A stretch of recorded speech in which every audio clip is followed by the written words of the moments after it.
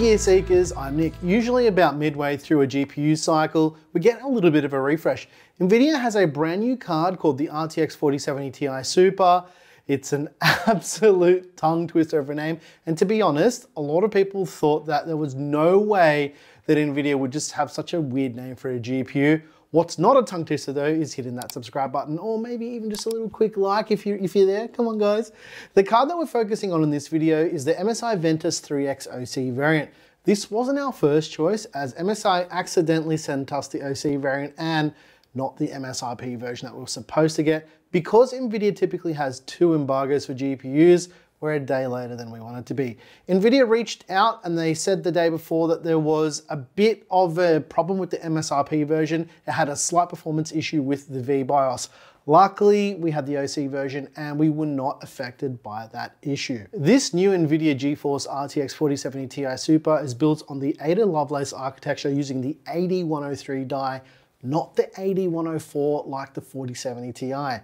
The 4070 Ti Super has more in common with the 4080 than it does with the 4070 Ti. And I'll come back to this a little bit later though, because it does get a bit interesting with the architecture. The Super variant also has a memory bump of 16 gigs of VRAM compared to the 12 gigs of the 4070 Ti. So there is that as well.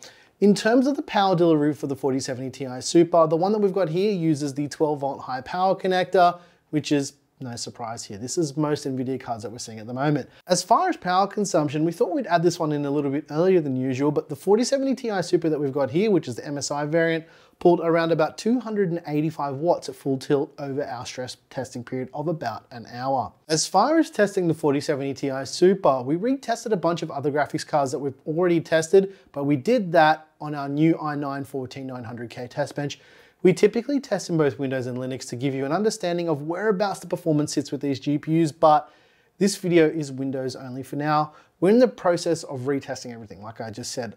On average, each GPU takes around about two hours to test, and I'm just one man over here testing GPUs. We're also including 1080p benchmarks because this is something that you guys have requested. We did a little bit of a poll on YouTube communities not too long ago, and you guys still want to see those results. So with that said, let's kick it off with the 1080p benchmarks. Remember, at 1080p though, we are still quite CPU bound, but again, you guys did ask for it. So let's jump into the first one. This is Call of Duty Modern Warfare 3. We tested on ultra settings with either DLSS or FSR3, and we set that to the balance setting with both of these using their respective frame generation technologies depending on the GPU. I hope all that makes sense.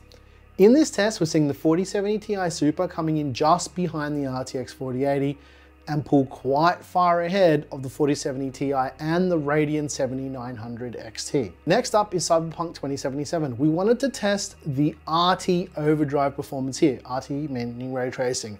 This one is pretty interesting and for the AMD testing, we use the beta drivers that enables frame generation, but as you can see in this graph here, the NVIDIA GPUs dominate with ray trace applications, and it's kind of always been this way. In Horizon Zero Dawn, we see the RTX 4070 Ti Super coming in right between the 4080 and the 4070 Ti. This is exactly where you would expect to see the 4070 Ti Super. On to Unigine Superposition, we like this benchmark because the 1080p Extreme benchmark that we use here is extremely GPU bound and it's a very good DX11 benchmark. Again, we see the RTX 4070 Ti Super sitting right between the 4080 and the 4070 Ti. What's interesting though is the 7900 XT trails by about 5 FPS. I honestly thought that the 7900 XT might perform a little bit better here in this benchmark, but you know, it is what it is.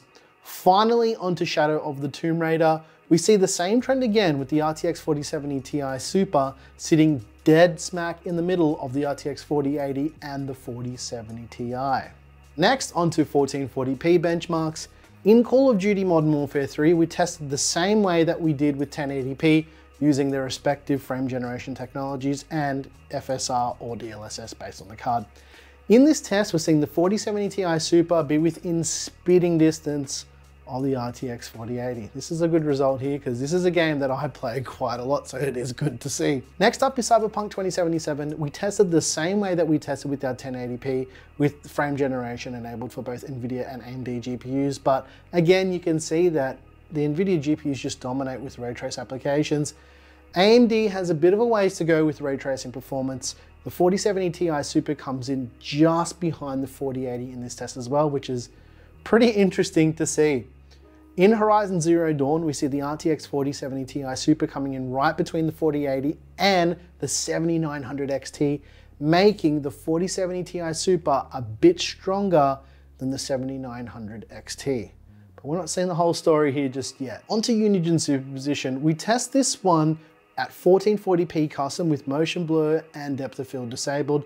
This one is pretty CPU bound at 1440p. We like this one because even though it's CPU bound, really fast GPUs really show their strengths here. The RTX 4080 performs ahead of every other GPU in the pack, well there's no surprises here, leaving basically everything else in the dust.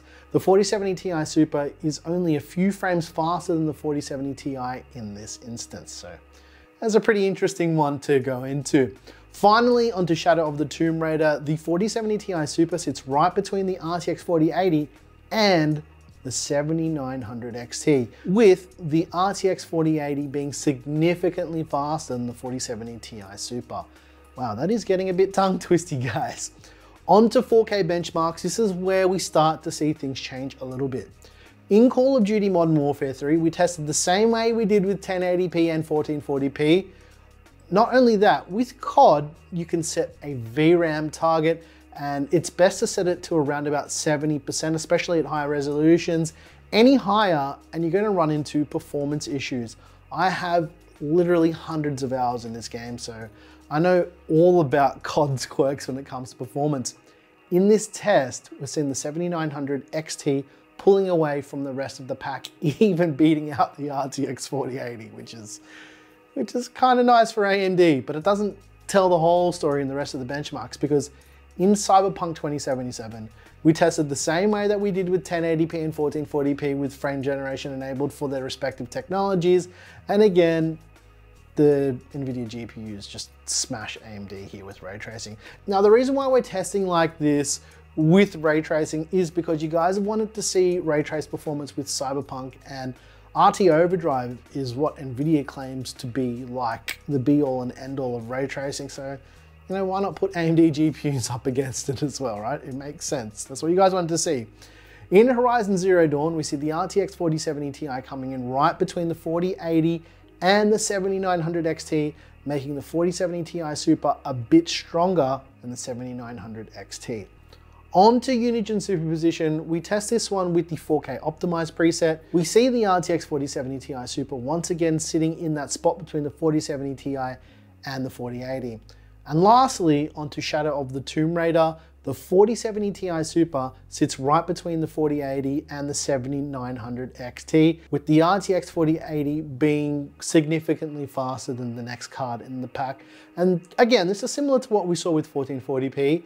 It shows that the 4070 Ti Super scales well even at higher resolutions, that's probably more to do with the increased 16 gigs of VRAM. Moving on to our one hour stress test in AIDA64, we couldn't get the MSI GeForce RTX 4070 Ti Super Ventus 3X OC above 66 degrees in our 18 degree climate controlled office. We also recorded the hotspot temperature here and it didn't reach higher than 78 degrees. This is pretty decent thermal performance if I'm being honest. The argument can be had that our ambient temperature is quite low, but it's the middle of summer here and 18 degrees is optimal. We always have it at 18 degrees. We observe the MSI RTX 4080 Ti Super Ventus 3X OC to be not audible over our stress testing period with zero coil whine. I'm saying that this card was dead silent. On an open air test system like the one we've got here, sound cannot hide. The card was dead silent. Now, our acoustic observations make more sense for normal users than actual measurements because they don't tell the full story based on environmental factors, right? If I'm telling you it's quiet, it's generally pretty quiet. What are my thoughts on the RTX 4070 Ti Super overall? Well, you have to remember something really important about the 4070 Ti if we want to go back to that launch. They initially named that card the 4080 12 gig, where it was nowhere near 4080 performance. In fact, it wasn't even based on the same die, so I'm not sure why they called it that. I'd say that the 4070 Ti Super is closer to being a 4080 variant, basically because it's based on the same die and it's got more CUDA cores. I don't, I'm not sure what NVIDIA was thinking with the 4070 Ti being a, a 4080 12 gig. Anyway, being that the 4070 Ti Super is based on the same die, it adds more CUDA cores. It's also got more memory and a wider memory interface. I'd say that the issue isn't so much as that the 4070 Ti Super exists, it's the fact that the 4070 Ti existed in the first place. It was a pretty poorly received GPU. We even thought it was one of the most pointless GPUs ever. There didn't need to be a 4070 Ti in the first place. What the 4070 Ti Super does though is kind of fight back at AMD with the Radeon 7900 XT. In a lot of our testing, the 4070 Ti and the 7900 XT was pretty close in performance. What the 4070 Ti Super does is claw some of that performance back while adding more VRAM. Sure, the Radeon 7900 XT has 20 gigs of VRAM, but in applications like Cyberpunk with ray tracing, it's a clear winner. The 4070 Ti Super wins hands down. Here's the conundrum though. Sure, you could buy a 4070 Ti, a 7900 XT, or a 4070 Ti Super right now, and in all honesty, you're gonna be pretty happy with the performance. The pricing aside though, they all perform pretty well, but if pricing is brought into that equation, I would say based on what we know right now with the upcoming 4080 Super, I'd wait. It's only a week. Why would you spend money right now where you don't really know the full story with these super refreshes? Here's the benefit of the 4080 Super though that maybe some people won't talk about. When it comes out, the 4080 will drop in price, so you could potentially snag a good deal on a 4080. And given what we saw in our testing, the 4080 is significantly faster in almost every single way. Here's where this gets thrown all out of whack though. We know that MSRP cards for these non-founders launches are available. Most people would consider an OC version because, to be honest, MSRP cards might not be that easy to get. They'll be pretty hard to come by, which means you're potentially spending anywhere from 60 to $150 more for an RTX 4070 Ti Super, and that's for the non-MSRP OC card. If you're willing to spend that money, why not spend a little bit extra money and try and get a 4080 on clearance when the 4080 Super launches? Because the prices will come down. If not, I think the 4070 Super, based on our testing that you saw in this video, we have the founder's card, even at 4K, the 4070 Super is not terrible value. I'm, I'm gonna call it now. The 4070 Ti Super is one of the most boring GPUs we've seen from NVIDIA in a long while. And that was kind of the same thing with the 4070 Ti. It's in such a weird place for performance for gaming.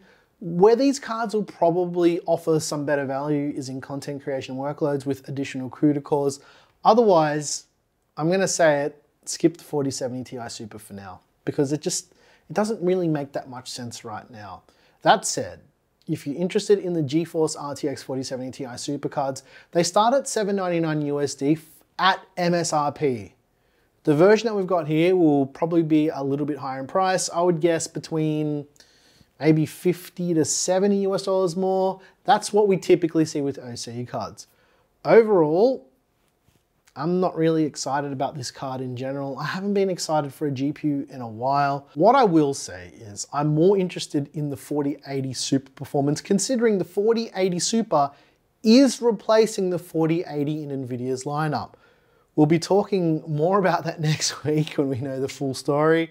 That's when I'll be able to show you everything that we know so far. So make sure you're subscribed and you chuck us a quick like while you're at it since it really does help us out a lot with supporting the channel. Just by clicking those two things, you can change our lives or change yours. And if you like this video, please like and subscribe. If you didn't like this video, you know what to do. Tell us what you hated about the video, what you disliked, all that stuff. I'm your boy Nick from Gear Seekers. You peak, we seek. Let us know what you think about this 4070 Ti Super down below in the comment section. And now you can watch a video here. Or not, it's completely up to you hey, maybe I'll put up the video where we revisited the 4090 after a year. That was pretty interesting. Saw some pretty cool results with that GPU after a year. Thanks for watching.